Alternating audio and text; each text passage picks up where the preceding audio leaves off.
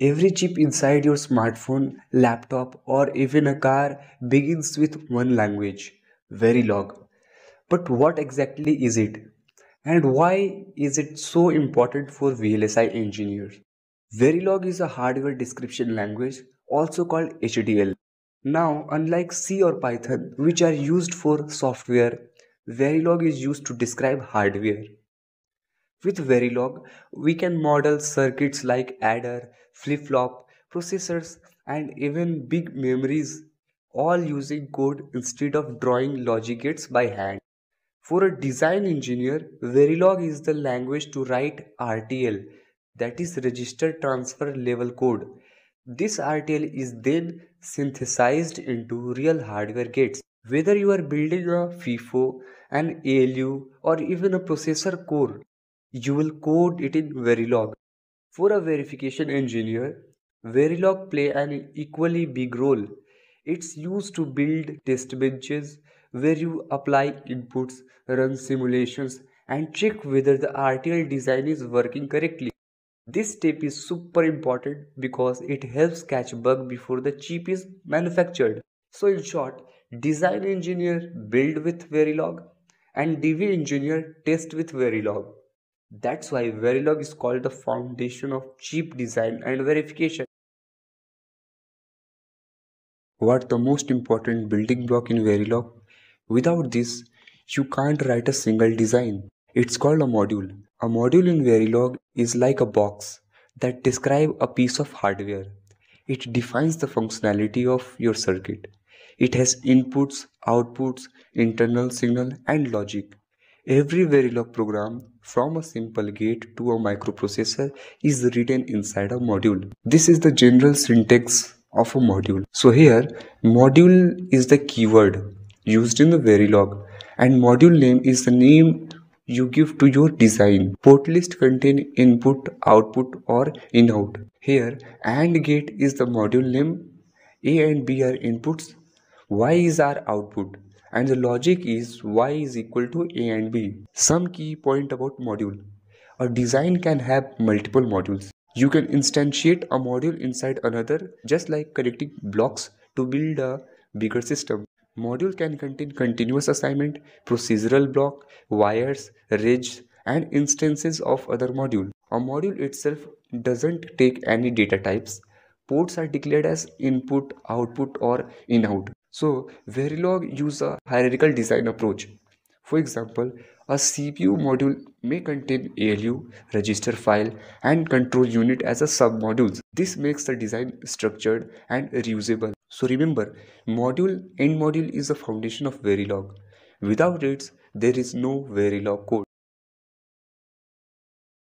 In Verilog, data types are very important because they decide how signals are represented, stored, and updated. This is not just theory, it directly affects how you write RTL for design and also how you verify it in a test bench. First one is net. Net represent connection between hardware components. They cannot store values, they just reflect whatever is being driven on them. Second one is registers, which is represented as reg. A reg can store a values until it's updated in a procedural block like always. But remember, reg does not always means flip-flop. In simulation, it's just storage. In synthesis, behavior decides whether it's become a latch or a flip-flop. Next is vectors and arrays. Vectors let you define multi-bit signals like buses. Array group multiple vector or arrays together. Signed versus unsigned. By default, Verilog numbers are unsigned. With signed, you can represent both positive and negative numbers. And other types are integer which is basically 32-bit signed which is useful for loops and counter in test bench. Now next is real which is basically a floating point which is used in simulation only. And next is time which is 64 bit and is used for delays and time stamps. So if you are in design data types help you correctly model wires storage and buses in rtl and if you are in verification they decide how your test bench variable hold values generate stimulus and compare outputs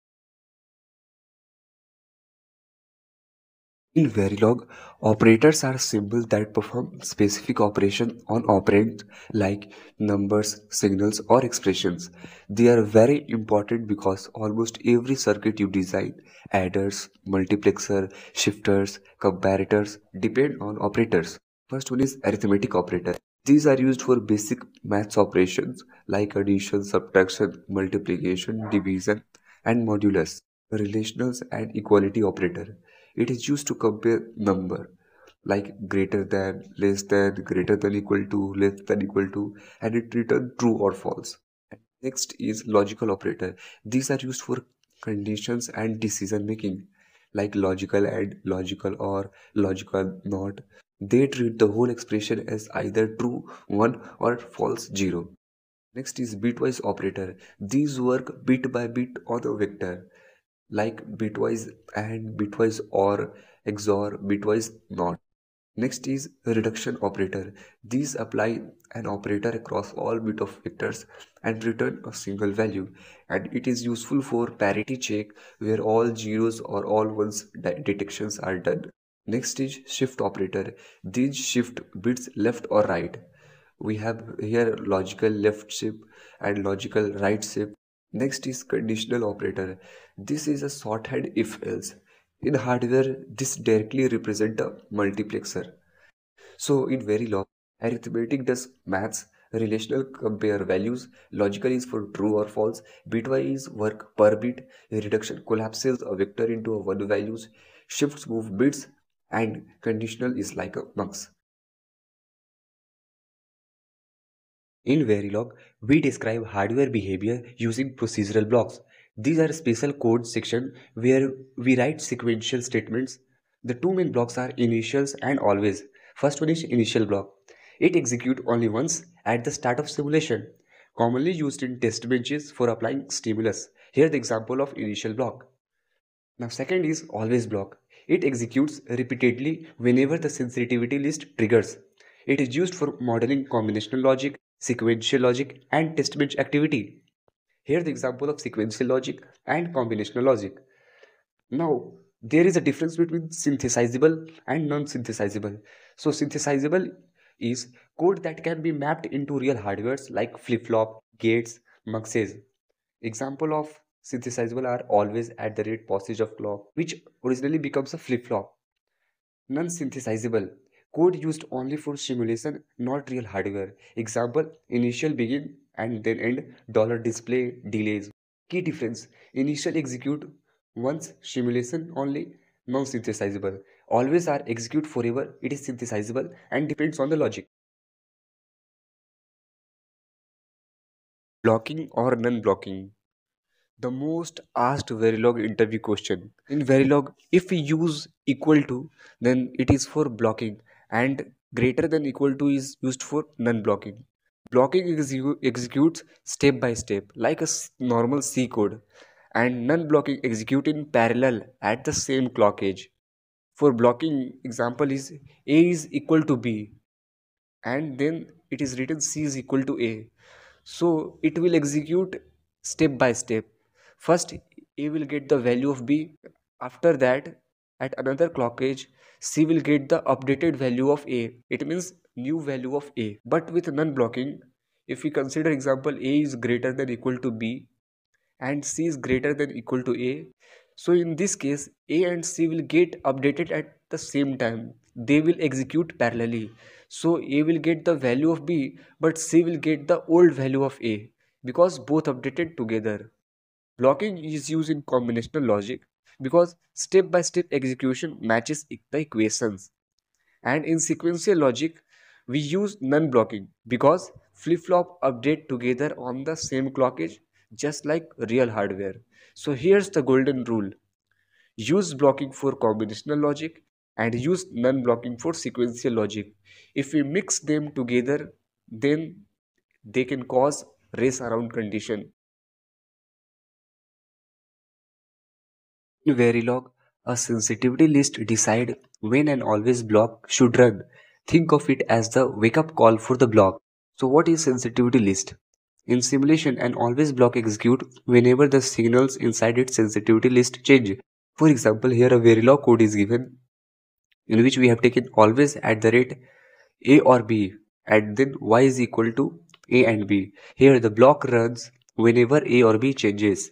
The first one is at the rate in bracket which is basically a shortcut. Manually listing all signal is a error prone. That's why Verilog 2001 introduced at the rate in bracket asterisk. It automatically includes all signal on the right hand side. Here's the example of the shortcut one. And next is sequential versus combinational. For combinational logic, we use the shortcut one like at the rate in bracket asterisk. For sequential logic, we use clock is like always at the rate posedge of clock q is less than equal to d. This means the block wake ups only on the positive edge of the clock. If you miss a signal in the sensitivity list, the simulation may show latch-like behavior or incorrect result. But synthesis tools usually assume complete sensitivity, so the mismatch can be dangerous. So in short, sensitivity list decide when always block run. At the rate in bracket asterisk ensure correct combinational logic. At the rate posedge clock or negedge clock is used for sequential logic. Missing signal in sensitivity list is equal to simulation versus synthesis mismatch. In large designs, writing the same code repeatedly is inefficient. That's where tasks and functions come in. They let us divide the design into smaller, reusable blocks just like subroutines in C. The first one is task in Verilog. A task is like a mini program. It can have multiple inputs and outputs contain timing control like hash delay or at posedge clock, and can call other tasks or functions. Here, the example is given in which task takes two inputs, calculates the sum and displays it. Now the second one is function in Verilog. A function is like a calculator, it always returns a single value. Rules for functions.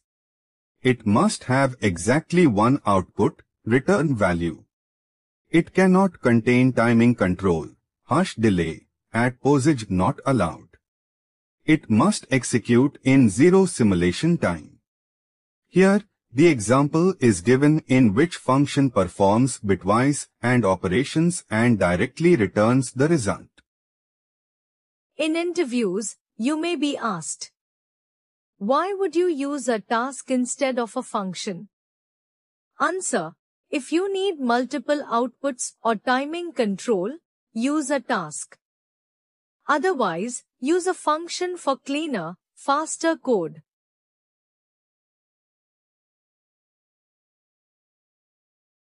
In Verilog, the case statement is used for decision making. It's similar to an if-else ladder, but much cleaner when you have multiple choices. The first one is Basic case. The normal case compares an expression against several options. Only the matching branch executes. This is the example of case. Here, cell decides which input goes to Y. Always use default to avoid latch inference. Second one is case X. Case X is a relaxed version. It treats X and Z as don't care bits, both in the case expression and the case items. This is the example of case X. It is flexible, but risky in simulation. If your signal has an unknown, X, case X may still match a branch and hide bugs. And the last one is case Z. Case Z is safer. It only treats Z or question mark as don't cares. Unknown, X, values are still considered, so bugs are not hidden. This is the example of case Z. That's why in RTL coding, case Z is preferred over case X. So to summarize, case use it for strict comparison. Case X it ignores X and Z, use carefully, mostly for test benches. Case Z it ignores only Z or question mark, safer in RTL. In Verilog, Generate blocks are used to build repetitive or conditional hardware during elaboration before simulation even starts. Why is generate important? If you need multiple copies of a module or logic, instead of writing it manually, you use generate. This makes code cleaner and parameterized. What is genvar? Inside a generate for loop, we use genvar instead of an integer. Why?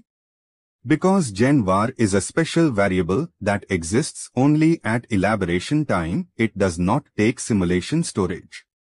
That's why you cannot use integer inside generate. This instantiates or in a easy way it create four full adders automatically. Without generate, you would have to write four instantiations manually which is longer and error prone. Conditional generate. Here, based on parameter width, the tool selects which hardware to build. Key points to remember. Generate executes at elaboration time, not during runtime. Genvar is mandatory for loops inside generate case, if, and for can all be used inside generate.